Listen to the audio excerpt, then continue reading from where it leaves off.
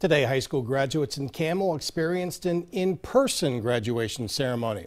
Although it wasn't what they expected, they'll remember this unique graduation. 27 First News reporter Vince Call shows us how it looked. It's nice for everybody to feel special all together since we all didn't get to graduate together. Brianna Robinson is one of 19 students who graduated from Campbell High School today. Today is day two of a week long process to make sure graduates get a face to face experience.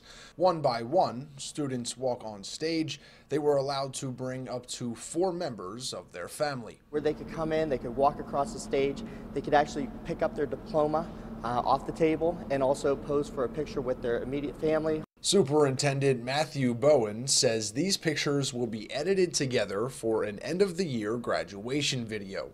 Families and grads did have to wear masks to take part.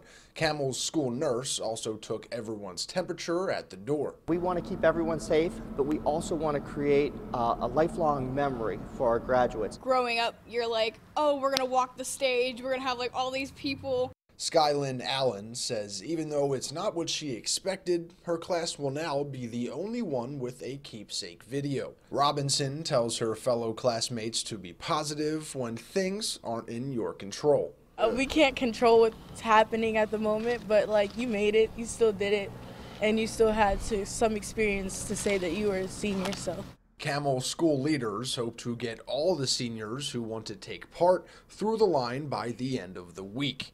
In Campbell, Vince Call, WKBN 27 First News.